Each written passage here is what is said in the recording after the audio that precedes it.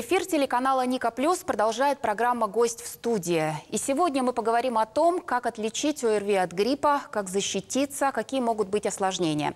У нас в гостях главный специалист по медицинской профилактике Республики Карелия, заведующая Центром медицинской профилактики Наталья Прищепа. Наталья Николаевна, здравствуйте. Здравствуйте. Ну вот после того, как э, появилась информация о погибших от гриппа H1N1 среди людей появилась паника. Все побежали скупать оксалиновую мазь, марлевые повязки. Вот э, среди вас, медиков, есть такие панические настроения? Нет ощущения, что как-то ситуация из-под контроля выходит? Вот как вы чувствуете себя? Нет, конечно же, на сегодняшний день поводов для паники абсолютно нет. То есть это обычная ситуация, ежегодно происходит эпидемии по гриппу, и, в принципе, медицина на сегодняшний день готова к этой эпидемии. То есть какой-то ситуации, выходящей из-под контроля, на сегодняшний день абсолютно нет на территории Республики Карелия. Давайте скажем, как отличить э, грипп от ОРВИ. Я знаю, что симптомы разные, но вот э, что сложнее человек переносит, когда чувствует себя хуже?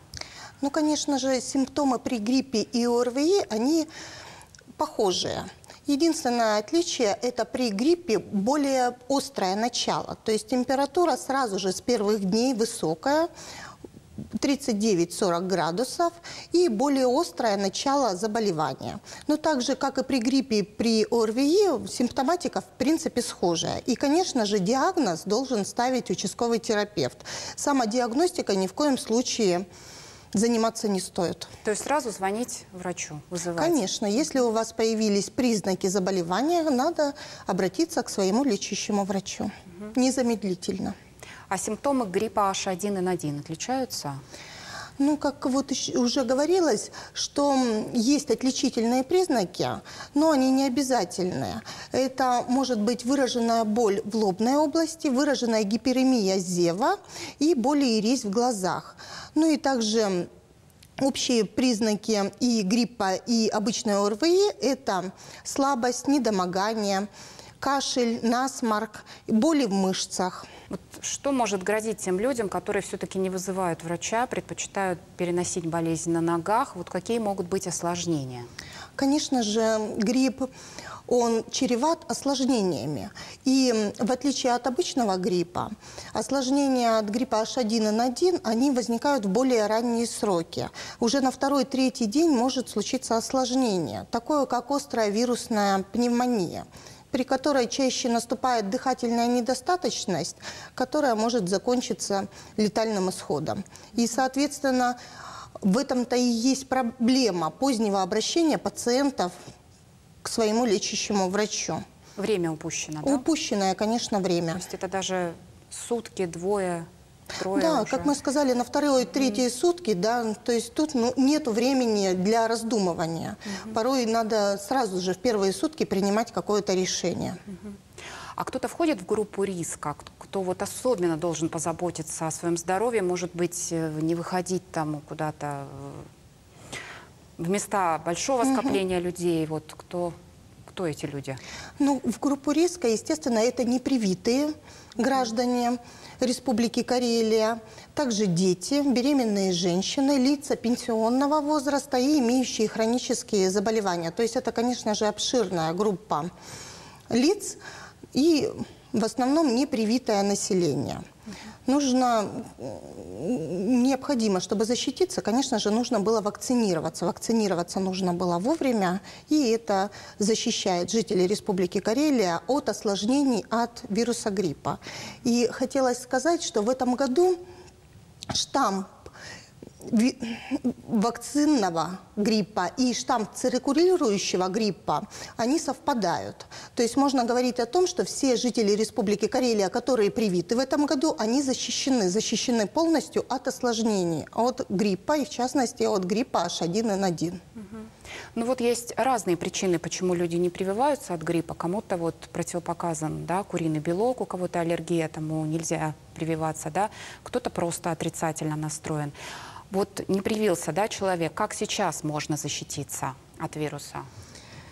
Ну вот возвращаясь к осложнениям от противопоказаниям от вакцинации, тут, конечно же, единственное противопоказание должно быть – это аллергическая реакция на куриный белок. И именно выраженная аллергическая реакция по типу анафилактического шока. Все остальное не противопоказание. И, естественно, если люди отказываются от этого, да, то они должны отдавать себе отчет в том, что осложнения от вирусной инфекции у них могут быть. Если же у нас на сегодняшний день человек уже не привит, Тут обычные неспецифические меры профилактики по типу как мытье рук частое, проветривание помещений, ограничение посещения мест скопления народу, массовых каких-то мероприятий и обработка поверхностей, влажная уборка дома, использование марлевых повязок.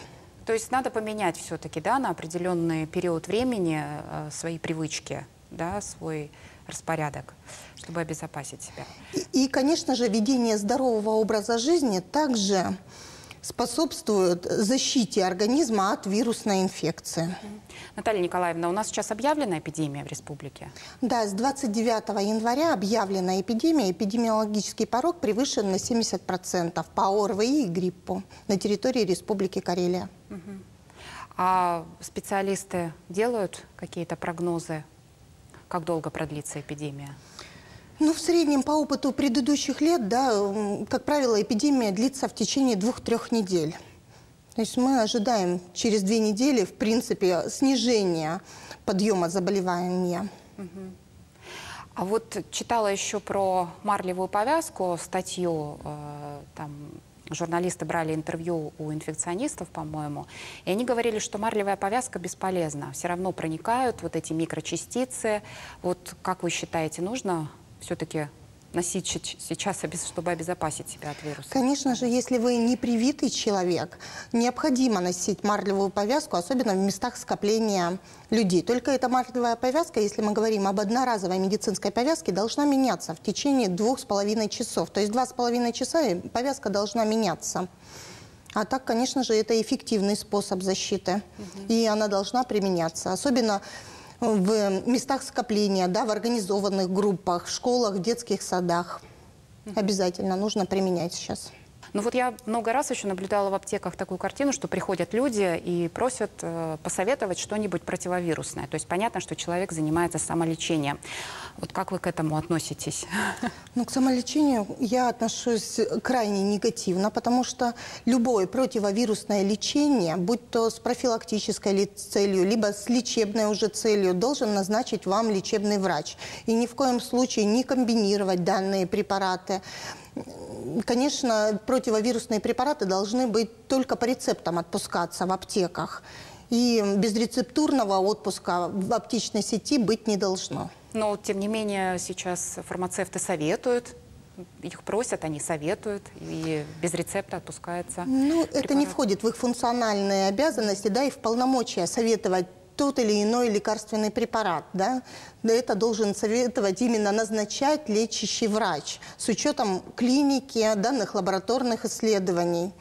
И ни в коем случае не заниматься самолечением, тем более самоподбором противовирусных препаратов. А чем может это грозить? Уже есть э, какие-то доказательства того, что это вредно?